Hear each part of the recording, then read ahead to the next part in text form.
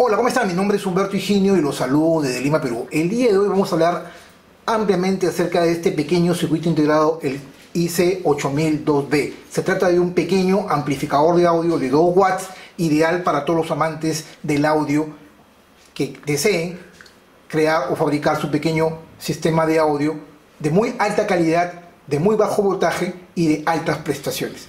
Un pequeño circuito integrado que trabaja con muy poco voltaje hasta un máximo de 5.5 voltios, incluso puede ser alimentado con una pequeña batería, un CR2032 de 3 voltios. Este circuito integrado tiene como fundamental práctica utilizar muy pocos componentes para polarizarlo. Vamos a empezar el video hablando de sus características técnicas, las aplicaciones prácticas en las cuales se puede utilizar y lo más importante, vamos a ver el diagrama esquemático y la disposición del pinout para poderlo conectar y hacer uso de sus características más importantes de amplificación. En la parte final de este video vamos a ver la parte práctica, probándolo con una entrada de audio de un celular y no solamente ello, haciéndolo trabajar también con un pequeño auricular. Así que empecemos. GLC PCB es la empresa líder, fabricante de los mejores circuitos impresos en el mundo.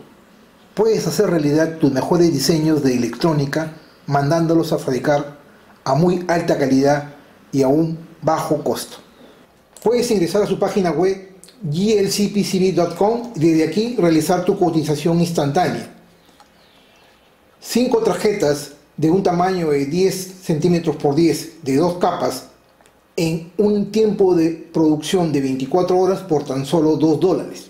Ingresas haciendo tu cotización instantánea, pueden identificar las tarjetas, pueden definir cuántas capas de las tarjetas PCB quieren mandar a fabricar, el tamaño de las tarjetas, en este caso de 10 centímetros por 10, la cantidad de tarjetas que quieren fabricar, el color de la PCB, tiene desde color verde hasta blanco, el blanco mate, y luego generan su cotización. Recuerda, tus mejores proyectos de electrónica los puedes mandar a hacer aquí en GLC PCB. Pues bien, nuevamente con ustedes el día de hoy vamos a hablar de un circuito integrado ideal para todos los amantes del audio. Me refiero a este pequeño circuito integrado, el IC8002B. Se trata de un amplificador de audio de muy altas prestaciones y lo más importante es un circuito integrado pequeño, muy pero muy barato, de muy pocos dólares, consume muy poco voltaje y es de alta calidad y de altas prestaciones. Me refiero a este circuito integrado, el IC 8002. Este circuito integrado lo compré un tiempo atrás, este paquete lo compré en, en una tienda por internet, la verdad que lo compré en Amazon un tiempo atrás, hace más de un año atrás, y lo tuve para hacer este video, y ahora lo estoy haciendo, en un paquete de 8 dispositivos, como lo van a ver ahí, 8, aquí en este momento hay 7, porque el octavo lo tengo en la práctica que vamos a ver en la siguiente sección de video. Voy a abrir el encapsulado porque viene empaquetado, lo voy a, se los quiero mostrar para que lo, para que lo logren ver, vamos a abrirlo con cuidado y eh, puedan ver el tamaño, ahí mejor, así.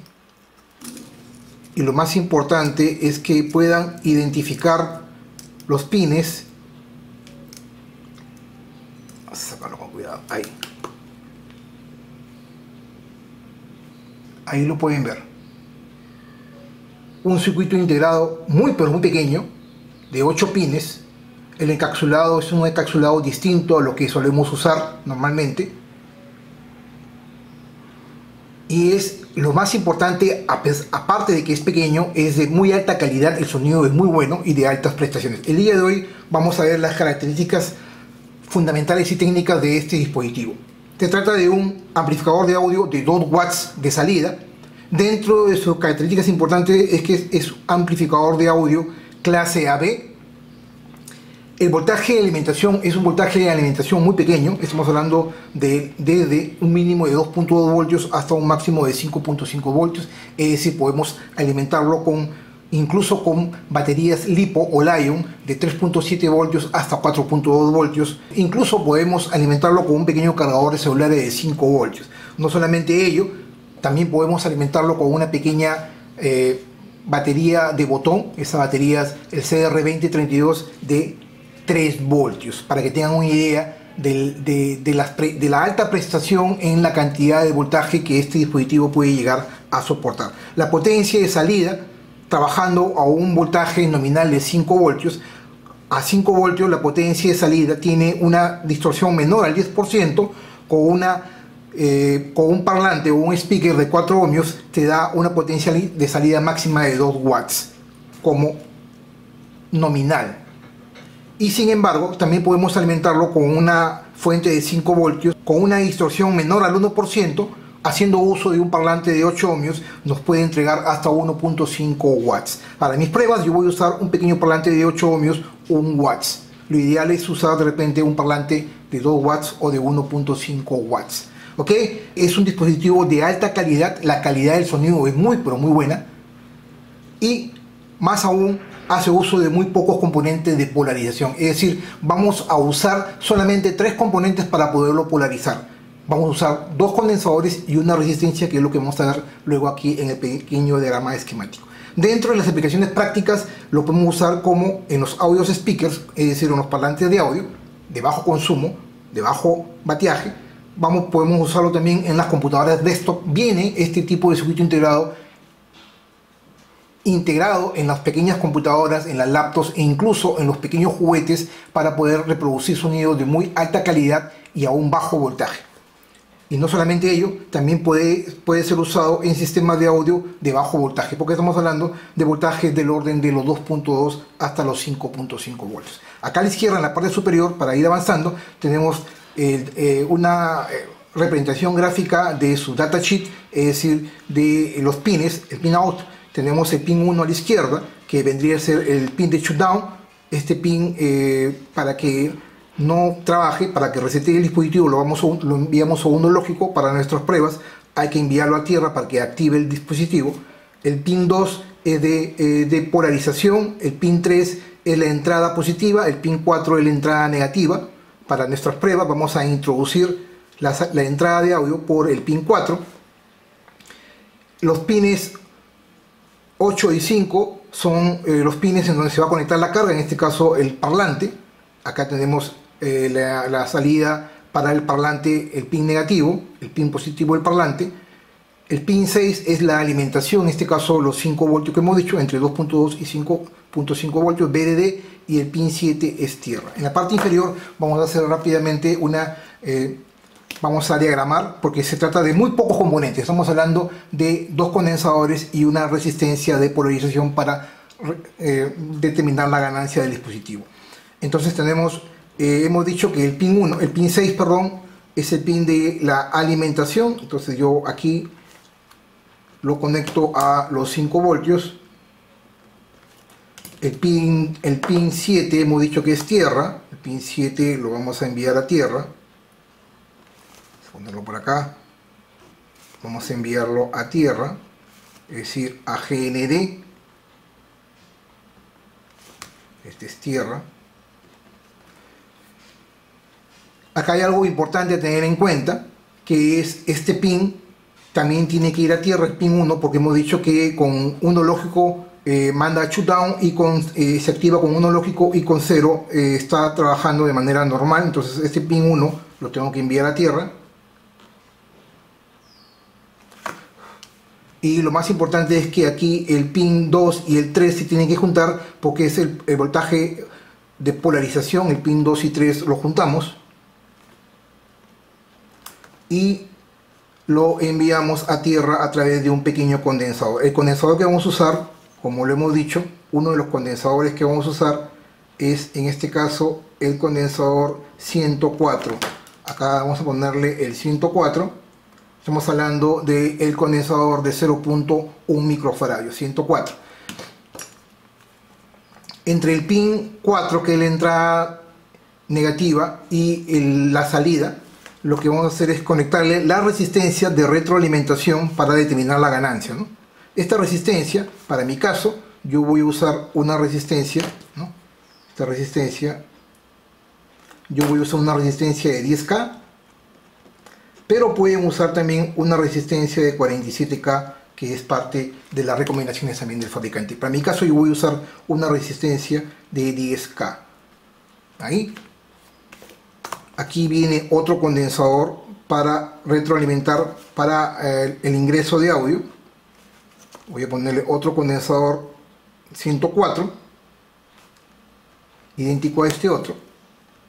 104 y aquí viene la entrada de audio la entrada de audio viene aquí con el conector de 3.5 milímetros. Obviamente la entrada de audio puede ser el audio right o el, audio de la izquierda el audio de la derecha ¿no? la entrada de audio va acá obviamente el pin, el pin de tierra va a tierra, la entrada de audio va acá, acá conectamos la salida y entre estos dos pines conectamos la, entre el pin 8 y el pin 5 conectamos en este caso nuestro parlante. El pin 5 vendría a ser el pin positivo. Hacerlo así, el pin 5 el pin 8, perdón, y el pin 5 vendría a ser el negativo. El parlante, como hemos dicho, yo voy a usar, eh, pueden usar de preferencia 4 ohmios, 2 watts. Pues bien, hasta que esa parte, ahora sí vayamos a la parte práctica, que es lo, lo que más nos importa. Continuamos entonces. Pues bien, ahora sí estamos en la parte más importante, la parte práctica, y vamos a demostrar la calidad del sonido. Y vamos a usar muy pocos componentes, como lo dije en la parte teórica. Podemos ver ahí el circuito integrado, lo he puesto sobre una pequeña tarjeta de baquelita, eh, un PCB externamente, para poderlo soldar. Obviamente esto se tiene que hacer en un PCB ya más profesional, lo vamos a ver luego en otro video, en donde vamos a utilizar este dispositivo para poder crear un pequeño Bluetooth speaker es parte de otro proyecto top que voy a realizar aquí en mi canal de YouTube. Esta es una prueba y lo más importante, como vuelvo a decir, es que estamos usando muy pocos componentes. Los dos condensadores, 104 de polarización y la resistencia para determinar la ganancia de retroalimentación. En este caso la resistencia de 10K, la alimentación con el cable amarillo hacia la fuente de 5 voltios. Yo voy a usar una fuente de 5 voltios, en este caso de mi laptop. Un pequeño parlante de 8 ohmios, 1 watts y la entrada de audio acá conectado a mi celular. Ahora voy a abrir la toma para poder empezar las pruebas. Vamos a ponerlo más arriba y empezar las pruebas de audio de este interesante dispositivo amplificador de audio clase AB, el IC8002B. Vamos a empezar la prueba y vamos a utilizar un, un audio muy pero muy interesante.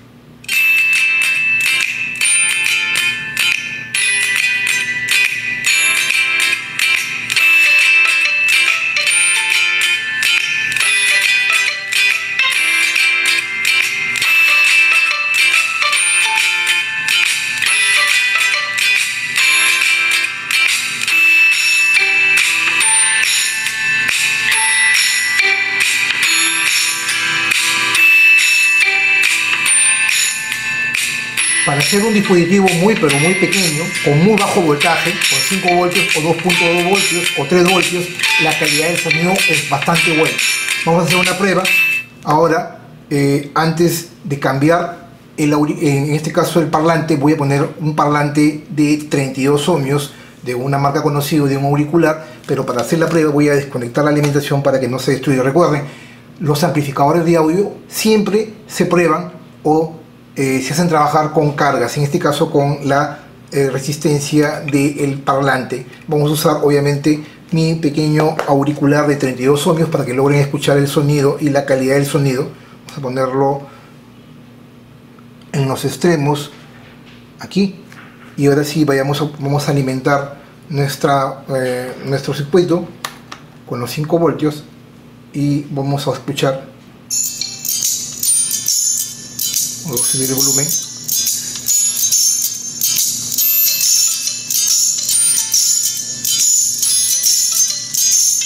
La calidad del sonido es impresionante. Es muy fuerte. Incluso no, yo no logro soportar el audio cuando me pongo estos auriculares. Así que hay que tener cuidado al usarlo. Con un volumen bajo realmente.